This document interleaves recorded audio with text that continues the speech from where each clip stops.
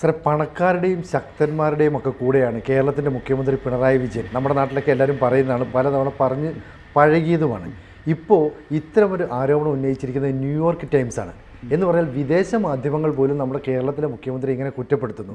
Hema committee report പൂഴ്ത്തി വെച്ചതുമായി ബന്ധപ്പെട്ട ചില കാര്യങ്ങളുമൊക്കെ പരാമർശിക്കുന്നുണ്ട്.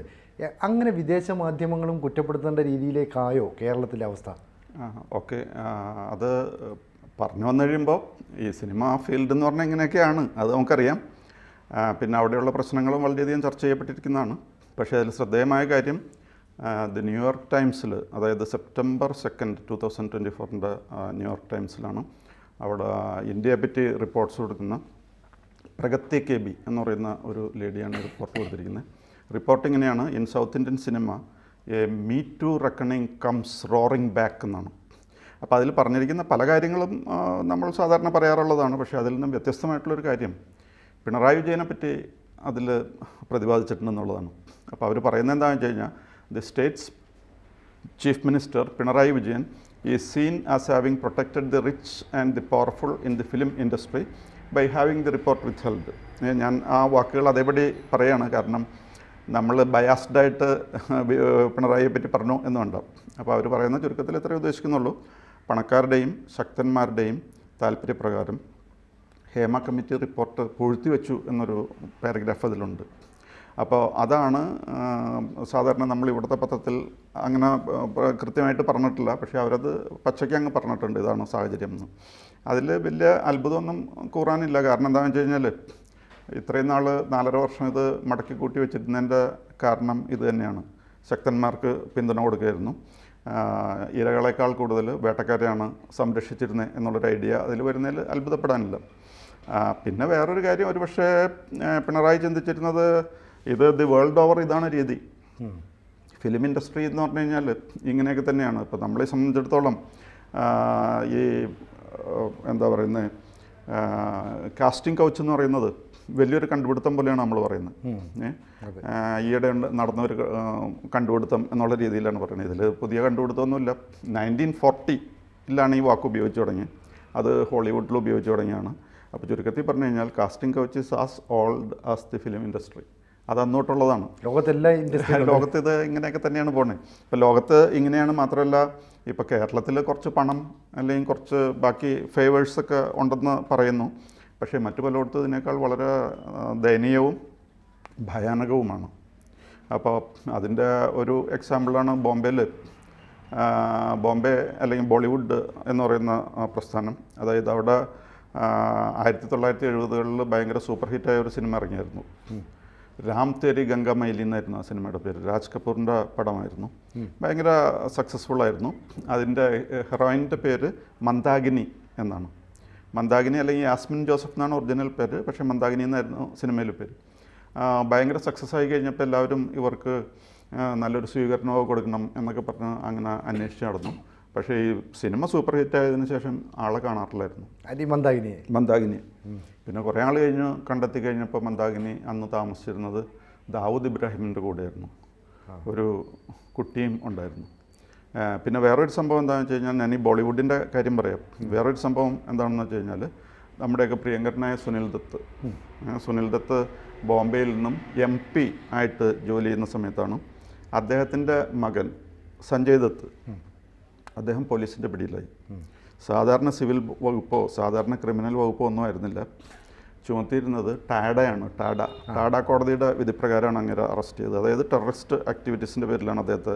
ടെററിസ്റ്റ് ആക്ടിവിറ്റീസ് എന്ന് പറഞ്ഞു കഴിഞ്ഞാൽ അദ്ദേഹത്തിന്റെ പക്കൽ നിന്നും അല്ലെങ്കിൽ പരിസരത്ത് നിന്നും ഒരു എ കെ ഫോർട്ടി സെവൻ കണ്ടെത്തി. കണ്ടുപിടി. അപ്പോൾ ഈ ഫിലിം ഇൻഡസ്ട്രിയെ പറ്റി പറയുമ്പോൾ ബോളിവുഡാണ് ഇപ്പോൾ ഇന്ത്യയിലെ ലീഡിങ് അതെ.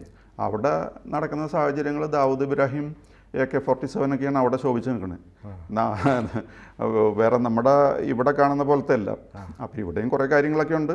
അപ്പോൾ അതിൽ ഇവിടെ ഇവിടെ കേരളയിൽ ഇപ്പോൾ കാണുന്ന ഈ സാഹചര്യങ്ങൾ ഹേമ കമ്മിറ്റി റിപ്പോർട്ടിൽ പറഞ്ഞിരിക്കുന്ന പലതും ഈ പറഞ്ഞ ന്യൂയോർക്ക് ടൈംസിന്റെ റിപ്പോർട്ടിലും വന്നിട്ടുണ്ട്. അവർ പറയുന്നത് പല ഈ നടികൾക്ക് സെക്ഷൽ ഫേവേഴ്സിന് വിധേയരായിട്ട് കൊടുക്കേണ്ടി വരും. പിന്നെ നോ റൂം അതായത് കുളിക്കാനോ അല്ലെങ്കിൽ മറ്റ് ആവശ്യങ്ങൾക്കോ ഡ്രസ്സ് ചേഞ്ച് ചെയ്യാനോ ഒന്നിനും ഒരു റൂം അവർക്ക് സൗകര്യത്തിന് കിട്ടുന്നില്ല.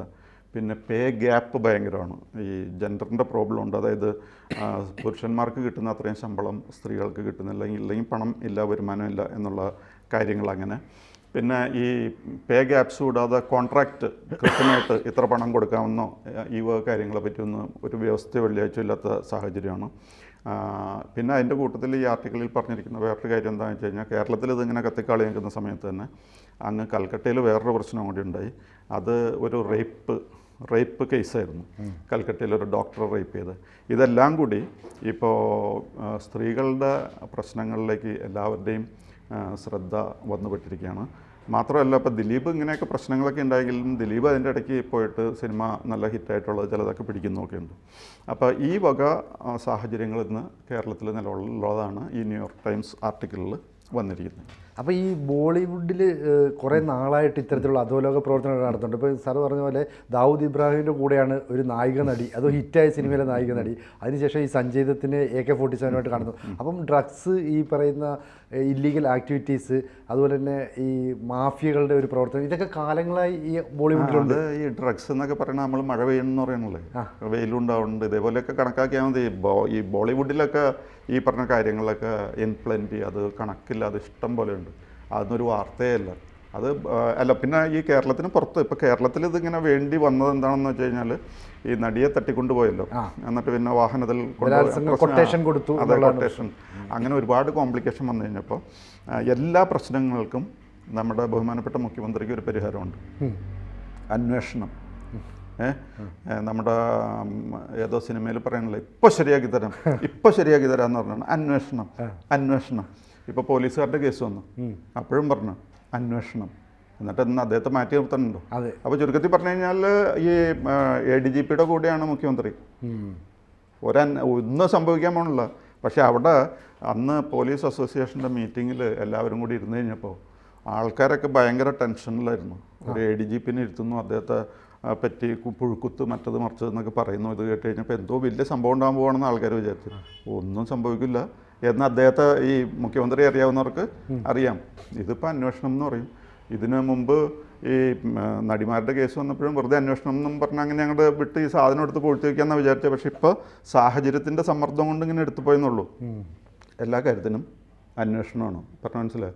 അതേപോലെ അതേ പോലീസുകാർ ഏതെങ്കിലും പോലീസ് സ്റ്റേഷനിൽ ഒരാളെ ചവിട്ടിക്കൊന്നു നമ്മളൊക്കെ ഇത് കേട്ട് കഴിയുമ്പോൾ വലിയ ഷോക്ക് അടിച്ചു ഷോക്കായിട്ടുള്ള സംഭവം. ആ പക്ഷേ പുള്ളിക്കാരനൊരു പ്രശ്നമില്ല അന്വേഷണം അങ്ങോട്ട് പ്രഖ്യാപിക്കും.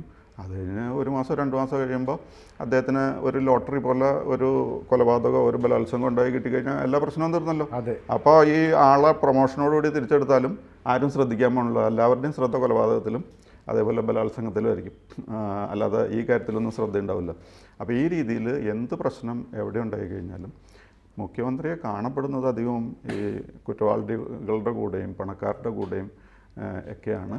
അദ്ദേഹത്തിന് പിന്നെ എല്ലാ പ്രശ്നങ്ങൾക്കുള്ള ഏക പരിഹാരം ഒരു ഒറ്റമൂലി എന്ന് പറയുന്ന കാര്യം എന്താണെന്ന് വെച്ച് കഴിഞ്ഞാൽ ഒരു അന്വേഷണം അങ്ങോട്ട് പ്രഖ്യാപിച്ചേക്കാം സ്റ്റേജിൽ എല്ലാവരും ഇരുന്ന് പറയുമ്പോൾ ഞെട്ടിപ്പോണം. അന്ന് അന്ന് ഈ എ ഡി ജി പിയുടെ ഇരിപ്പ് കണ്ടു കഴിഞ്ഞാൽ അദ്ദേഹത്തിന്റെ മുഖത്ത് എന്തൊരു ടെൻഷനായിരുന്നു. അത് തന്നെയല്ല മുഖം കണ്ടറിയാം പ്രഷർ കൂടി വരുന്നത്. ശ്വാസം ഭയങ്കര പ്രയാസപ്പെട്ട അദ്ദേഹം വലിഞ്ഞു മുറുകി വലിഞ്ഞു മുറുകി വലിഞ്ഞു മുറുകി ടെൻഷൻ കൊണ്ട് അങ്ങോട്ട് ഇരിക്കാൻ പറ്റാത്ത കണ്ടീഷനാണ് എന്തോ വലിയ സംഭവം ഉണ്ടാകാൻ പോലെയല്ല ഒന്നുമില്ല. അദ്ദേഹം ഒരു അന്വേഷണം ഒന്നും പറഞ്ഞു അങ്ങനെ അദ്ദേഹം മുഖ്യമന്ത്രി അദ്ദേഹത്തിന്റെ വഴിക്ക് പോയി. പക്ഷേ നമ്മൾ വിചാരിക്കും ഹോ ഈ പുഴുക്കുത്തെന്നൊക്കെ പറയണ കേട്ട് കഴിയുമ്പോഴേ അയ്യോ ഇയാൾക്കെതിരെ എന്തെങ്കിലും ചെയ്യണമെന്ന് പക്ഷേ ചിലരുടെ ചിന്താഗതി അതല്ല. ഇങ്ങനെ ഇത്രയും കുഴപ്പമൊക്കെ ഒപ്പിച്ചു. അപ്പോൾ ഇങ്ങനെ ഇതിൽ നിന്ന് രക്ഷപ്പെടുത്തി കഴിഞ്ഞാൽ ഇത് കഴിയുമ്പോൾ നമുക്ക് എന്ത് കാര്യം വേണമെങ്കിലും അദ്ദേഹത്തെ കൊണ്ട് സാധിക്കാം. അപ്പോൾ ഈ അന്വേഷണം പ്രഖ്യാപിക്കലല്ലാതെ ഒരു സംഭവവും ഉണ്ടാകാൻ പോകുന്നില്ല. അതിപ്പോൾ ഈ നടികളുടെ കേസിൽ ഹേമ കമ്മിറ്റി റിപ്പോർട്ടിന്റെ കാര്യത്തിൽ ഇതൊക്കെ തന്നെയായിരുന്നു ഉദ്ദേശം. ഒരു അന്വേഷണം കൂടെ പ്രഖ്യാപിക്കാനായിരുന്നു. പിന്നെ ഇപ്പോൾ കുറച്ച് പത്രപ്രവർത്തകരോ അല്ലെങ്കിൽ ഈ വിവരാവകാശ കമ്മീഷന്റെ ഒക്കെ സ്വാധീനമൊക്കെ ഉള്ളതുകൊണ്ട് ഈ വാർത്ത പുറത്തു വന്നു. വാർത്ത പുറത്തു വന്നു കഴിഞ്ഞപ്പോൾ കുറച്ച് ദിവസത്തേക്ക് ഞെട്ട് അത്രേ ഉള്ളൂ. വെറുതെ ഞെട്ടലെന്ന് പറയാമെന്നല്ലാതെ വേറെ ഒന്നും ഈ പോലീസിന്റെ കേസിലായാലും ഈ കേസിലായാലും പിണറായി വിജയനൊന്നും ചെയ്യാനൊന്നും പോകുന്നില്ല പക്ഷേ ചെയ്യാൻ പോകുന്ന ആളാണെങ്കിൽ നമുക്ക് തിരിച്ചറിയാം. നമ്മൾ കുറച്ച് നാൾ മുമ്പത്തേക്കൊന്ന് ഓർത്ത് നോക്കിയാൽ മതി. ഇന്നിപ്പോൾ A D G P D G പിന്നെ കവച്ചു വെച്ച് മുന്നോട്ട് പോകുന്ന ഈ രംഗം തന്നെ നമ്മൾ കുറച്ച് നാൾ മുമ്പത്തേക്ക് എമർജൻസി കഴിഞ്ഞിട്ടുള്ള കാലത്തെ പറ്റി ചിന്തിച്ചാൽ മതി. അന്ന് കരുണാകരന്റെ കണ്ണും കാതുമൊക്കെ D I G Jayaram പടിക്കലായിരുന്നു. I G V N Rajan എന്ന് പറയുന്ന ആളുണ്ടായിരുന്നു. വി എൻ രാജന് ഈ പറഞ്ഞ കരുണാകരൻ ശ്രദ്ധിക്കാറേ ഇല്ലായിരുന്നു എല്ലാ കാര്യങ്ങളും ജയറാം പടിക്കലായിട്ടായിരുന്നു ബന്ധം മുഴുവനും. അത് കഴിഞ്ഞു പിന്നീട് ഈ പ്രശ്നങ്ങൾ മൂത്തു രാജൻ പ്രശ്നമൊക്കെ വന്നു കഴിഞ്ഞപ്പോൾ ഈ കരുണാകരൻ രാജിവെക്കേണ്ടി വന്നു. കരുണാകരൻ രാജിവെച്ച് immediately after that A K ആന്റണിയാണ് chief മിനിസ്റ്ററായത് എ കെ ആന്റണി ചീഫ് മിനിസ്റ്ററായിട്ട് ആദ്യത്തെ സ്റ്റെപ്പ് എടുത്തത് ഈ പറയുന്ന ജയറാം പടിക്കലിനെ അന്വേഷണ വിധേയമായിട്ട് സസ്പെൻഡ് ചെയ്തു. അപ്പോൾ അദ്ദേഹത്തിന് ആ സിൻസിയറിറ്റി ഓഫ് പർപ്പസ് ആ സ്റ്റെപ്പ് ഒറ്റ സ്റ്റെപ്പിൽ കാണാം അദ്ദേഹത്തെ അന്വേഷണ വിധേയമായിട്ട് സസ്പെൻഡ് ചെയ്തിരിക്കുകയാണ്. ഇവിടെ എ ഡി ജി പിന്നെ ഒന്നും ചെയ്യാതെ ആണ് അന്വേഷണം പറഞ്ഞിരിക്കുന്നത്. അപ്പോൾ അദ്ദേഹത്തിന്റെ അന്വേഷണം നടത്താൻ വരുന്ന ആൾക്കാർ അദ്ദേഹത്തിന്റെ കീഴിൽ ജോലി ചെയ്യുന്നതാണ് ഈ സ്പർജൻ കുമാറും മറ്റുമൊക്കെ. ഈ സ്പർജൻ കുമാർ ഇദ്ദേഹത്തെ പോയി സല്യൂട്ട് ചെയ്യേണ്ട ആളാണ്. അത് മാത്രമല്ല ഇവർ രണ്ടുപേരെങ്കിലും ഇത് അവരുടെ ഈ കോൺഫിഡൻഷ്യൽ റിപ്പോർട്ട് എഴുതുന്നത് എ ഡി ജി പി തന്നെയാണ്. അപ്പോൾ ആരെങ്കിലും അദ്ദേഹത്തിനെതിരെ എന്തെങ്കിലും നടപടി എടുത്തു ഒരു നടപടി ഒന്നും ഒന്നും സംഭവിക്കാൻ പോകുന്നില്ല ഈ അന്വേഷണം എന്ന് പറഞ്ഞാൽ നമ്മുടെ കണ്ണിൽ പൊടിയിട്ടുള്ള മാത്രമാണ്. ഇപ്പം D G P A D G P ആയ ഈ പറയുന്ന എം ആർ അജിത് കുമാറിനെതിരെ അതുപോലെ തന്നെ പൊളിറ്റിക്കൽ സെക്രട്ടറി പി ശശിക്കെതിരെ ഇവർക്കെതിരെയാണ് ആരോപണം ഉണ്ടായത്. അപ്പോൾ സ്വാഭാവികമായിട്ടും ഡി ജി പിയും പ്രതീക്ഷിച്ച് ആ ഇനി എ ഡി ജി പിയെ മാറ്റാം. എന്നിട്ട് പകരം ആളിനെ വെച്ചിട്ട് അന്വേഷണം കൊണ്ടുപോകാം. സി പി എമ്മിന്റെ സംസ്ഥാന സെക്രട്ടറിയായ എം വി ഗോവിന്ദനും വിചാരിച്ചു ആ പി ശശിക്കെതിരെ ആരോപണം അവരെ മാറ്റി നിർത്താം. അപ്പോൾ മുഖ്യമന്ത്രി ആ നിലപാട് സ്വീകരിക്കുന്നു. പക്ഷേ രണ്ടിടത്തും എം വി ഗോവിന്ദന്റെ പ്രതീക്ഷയും ഡി ജി പിയുടെ പ്രതീക്ഷയും തകർത്തുകൊണ്ടാണ് പിണറായി ഇവരെ രണ്ടുപേരെ നിലനിർത്തിക്കൊണ്ട് ഈ അന്വേഷണം പ്രഖ്യാപിച്ചത്. അപ്പോൾ സാർ പറയുന്ന പോലെയാണെങ്കിൽ അന്വേഷണം എന്ന് പറയുന്ന ഒരു പ്രഹസനം. ഇത് കുറച്ച് കഴിയുമ്പോൾ ആളുകൾ മറക്കും അപ്പോൾ ഇവിടെ ഈ പി ഗോവിന്ദ് ഈ എം വി ഗോവിന്ദന്റെ പ്രതീക്ഷയ്ക്ക് അപ്പുറത്തേക്ക് മാറി പി ശശിയെയും ഈ ഡി ജി പി പറയുന്ന അതായത് ഡി ജി പിയെ സാർ പറയുന്ന പോലെയാണെങ്കിൽ ഒരു കളിപ്പാവയെ അവിടെ വെച്ചിട്ട് എ ഡി ജി പിയിലൂടെയാണ് ഓപ്പറേഷൻ മൊത്തം നടക്കുന്നത്. അപ്പോൾ എ ഡി ജി പിയെ സംരക്ഷിക്കുന്നതിലൂടെ എന്ത് സന്ദേശമാണ് പാർട്ടിക്ക് നൽകുന്നത് ഈ മുഖ്യമന്ത്രി? ആ പാർട്ടിക്ക് മുഖ്യ മുഖ്യമന്ത്രി നൽകണത് ഇങ്ങനെയൊക്കെ തന്നെ ആയിരിക്കും കാര്യങ്ങൾ പോകണമെന്ന് പക്ഷേ എനിക്ക് തോന്നുന്നു ഇപ്പോൾ പാർട്ടിക്ക് കുറച്ച് ഒരു ഇതിനെപ്പറ്റി അവരും കോഷ്യസ് ആയെന്നോണം. കാരണം അവർ ഇപ്പോൾ ഈ അൻവറിന്റെ കേസിലൊക്കെ അൻവറിനോട് അല്പം സപ്പോർട്ടായിട്ടാണ് നിൽക്കുന്നത് ബാക്കിയുള്ളവർ എന്ന് പറഞ്ഞാൽ ഈ പിണറായിയുടെ എതിർ ക്യാമ്പ്. ഇനി ഒരു പക്ഷേ പണ്ടത്തെ പോലെ ഈ പാർട്ടിയിലെ ആൾക്കാർ തമ്മിലുള്ള സ്പ്ലിറ്റ് പണ്ട് അച്യുതാനന്ദനും പിണറായി വിജയനും തമ്മിൽ ഒരു ചേരിതിരിവ് ഉണ്ടായിരുന്നല്ലോ അതേപോലെ ഒരു തിരിവ് ചേരിതിരിവ് വന്നുകൂടായികയില്ല ഇപ്പോഴത്തെ സാഹചര്യത്തിൽ. കാരണം എല്ലാവർക്കും അറിയാം പിണറായി വിജയൻ അധികാരത്തിലിരുന്നിട്ട് ഇനി അധികം ഈ സി പി എമ്മിന് വലിയ ഭാവിയുണ്ടെന്ന് ആർക്കും തോന്നണില്ല. അതാണ് പ്രശ്നം. അപ്പോൾ അതുകൊണ്ട് ഈ കാര്യം ഇപ്പോൾ പാർട്ടിക്കാരെല്ലാവരും അതിനെപ്പറ്റി വളരെ ബോധവാന്മാരായിരിക്കുകയാണ്. മാത്രമല്ല ഈ പി ശശിയുടെ ഇടപെടൽ ഇടപെടൽ ബാക്കി പാർട്ടിക്കാർക്ക് ആർക്കും ഇഷ്ടമല്ല. കാരണം ഒരു പാർട്ടിക്കാരനും പോലീസുകാരായിട്ടൊന്നും ഇടപെടാനോ പറ്റുന്നില്ല. പോലീസ് സ്റ്റേഷനിൽ പോലും പോകാൻ പറ്റാത്ത അവസ്ഥ. എല്ലാം ഇവരുടെ ഒരു ടീമാണ് സ്വീകരിക്കുന്നതും തീരുമാനിക്കുന്നതും. അതുകൊണ്ട് പാർട്ടിയിലുള്ളവർക്ക് ഇപ്പോൾ ഭയങ്കര എതിർപ്പ് അതിനോട് വന്നിട്ടുണ്ട്. ഈ പി വി അൻവർ നേരത്തെ മുഖ്യമന്ത്രി കാണാനായിട്ട് ചെന്നായിരുന്നു. എല്ലാ തെളിവുകളും കൊടുക്കുമെന്നൊക്കെ പറഞ്ഞ.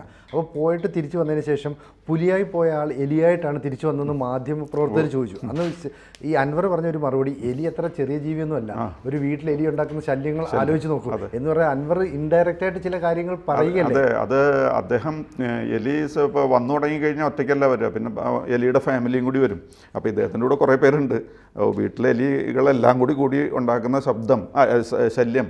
അത് ഉണ്ടാക്കാനായിട്ട് അൻവർ മാത്രമല്ല അൻവറിന്റെ കൂടെ വേറെ ആൾക്കാരുണ്ടെന്നും കൂടി അതിലൊരു സൂചനയുണ്ട്. പരോക്ഷമായ സൂചനയാണ് അല്ലേ?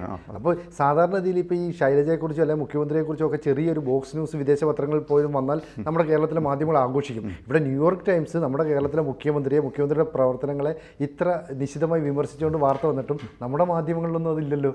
ഒന്നും അറിഞ്ഞിട്ട് പോലും കാണിക്കുന്നില്ല.